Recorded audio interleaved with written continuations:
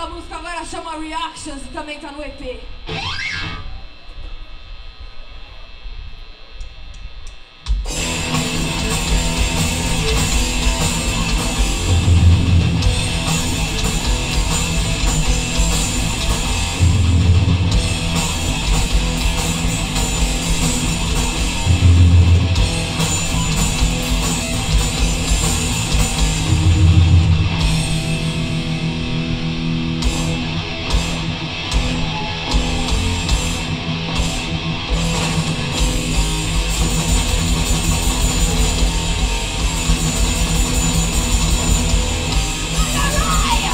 Rock!